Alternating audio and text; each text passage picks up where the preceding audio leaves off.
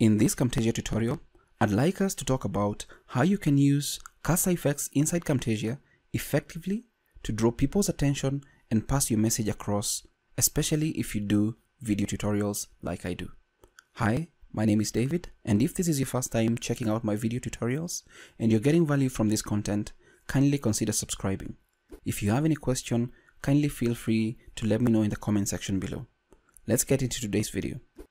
So today's video is just about cursor effects. And cursor effects in Camtasia work when you're working with the recording, uh, that is the TREC file. For example, I have a TREC file in the, my media bin and in the timeline here. So if you have a video that has uh, cursor effects, it will not work. But if it's the recording, a Camtasia recording that is a TREC a file, then the, the cursor effects will work as advertised. So if you cannot see them here, you'll need to click on the more tab and you'll find them just located underneath animations or just somewhere below here depending on how your effects are, are oriented. And we can click on this. Now the reason why you may need to use cursor effects is that cursor effects can help magnify your message and enhance the message while drawing attention to your users to what you're doing we have the first few cursor effects here and we have the highlight and the highlight is where the cursor has a color surrounding it. So it draws people's attention to see where the cursor is. We also have the cursor magnify and this helps to magnify a particular section that maybe you're clicking or that you want your audience to see uh, in clarity. We also have the spotlight. The spotlight tends to dull out everything else but only where the cursor is is there a spotlight. And then we have cursor smoothing.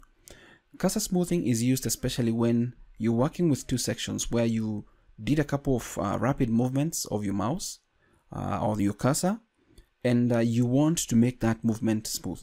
And as you can see here there are two options. The left is where there is no cursor smoothing. The right is where there's cursor smoothing. So you can use this if you had jumpy areas but one of the ways that you can help yourself is that always try to be static and always to the side if possible when you're not uh, talking about a particular thing on screen so that your cursor doesn't interfere with the shot that you're looking at. The next tab is uh, the left click uh, button and this has the, rings. When somebody clicks you see the rings or the ripples or the scope. You can also have sound and if you scroll down slightly you'll also have a target and a link, uh, a left click warp and uh, that applies also for the right click you get rings uh, you get a ripple uh, we get uh, a scope uh, the sound. And then if we scroll down again you get the target and the warp now the most important ones for me that I use and my favorites are the cursor highlight and also we have uh, the rings so that when I click on something somebody sees what I've clicked on. And finally the sound. And this applies also for the right click I like to use the rings and the sound. So what happens here, for example, in our footage below, what I would normally do is that, and, and my recommendation is that before you start making edits to your recording, that is your screen recording down here, ensure that you add the cursor effects first. And the reason for this is that if you add the cursor effects when you've already made a bunch of cuts, for example, if I just do some few dummy cuts, you'll notice that I already have three clips on my timeline. If I was going to be adding uh, this highlight or this cursor effect, I've added it only to the first clip. This means that all my other clips will not have the cursor effect unless I do it manually. Now to keep everything uniform, it's best if you can just add the cursor effects before you start making your chops or your edits so that you keep everything as uniform as possible. Also, when you add animations before adding the cursor effects, especially zoom ins and zoom outs, what happens is that the cursor always defaults to the default size and it's a lot of work especially when you have to zoom in and out of different sections of the canvas to readjust the cursor effects to match what you're looking for or your desired output. So we can just undo the edits we've made here undo the effect, undo the cut, undo the cut. So we first of all drop our cursor highlight. And once we drop it in there, it's going to be added to the whole clip.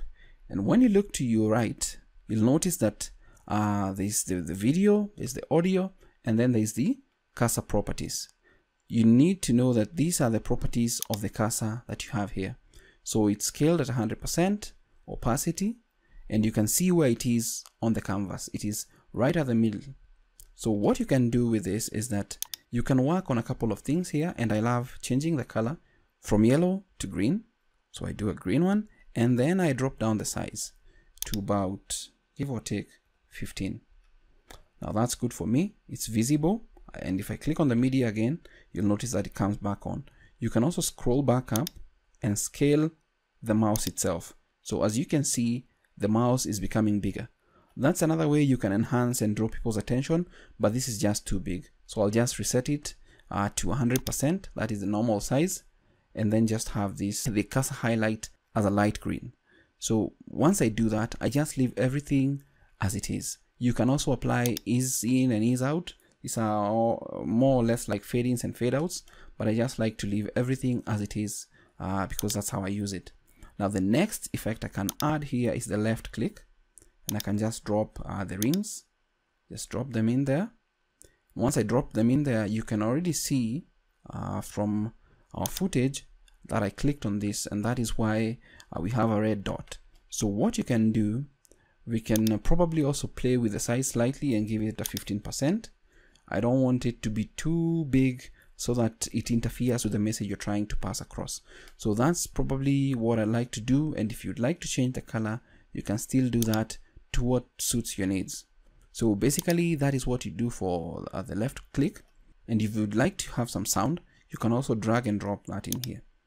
So it's already been added again and you can see uh, the left click sound should be a mouse click but you can also select a laptop click and also you can just adjust the volume or crank it up so that people can listen to the sound and know well that was a right click that was a left click and so on and so forth you can always uh, preview the sound here and also crank it up uh, if you need it to be more audible so for this what I'd like to say is that before you start working on your recordings always ensure that you add your Camtasia cursor effects before you do uh, the edits so that you keep everything uniform. If I made an edit here, let's say a cut right here, I just pressed S to make that cut and I have two clips. When you look at uh, the properties of this first clip, uh, that is the cursor, if you look at them, you'll notice that they're identical to the second clip.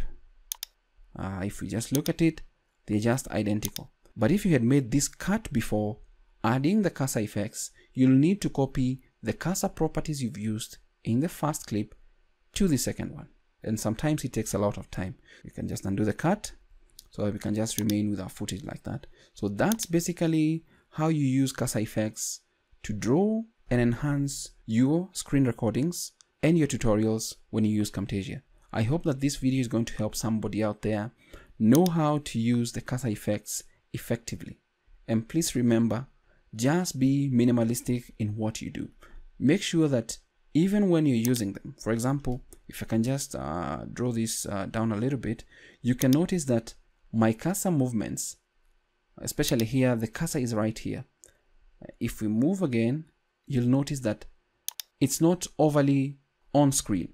But if I decided to just go ballistic and just send it to almost something like 168 or even 100, let's say uh, 102 this is too big of a cursor effect so i always go with something like 15 or even 20 but 15 serves the purpose especially when you intertwine cursor effects and zoom effects inside camtasia and in the next video i'm going to show you how you can use zoom effects uh, and there are a couple of ways you can use them and also some few nifty tricks that can help you enhance your camtasia recording thank you for watching this video Kindly subscribe if you like what you see and I hope that you got value from this video.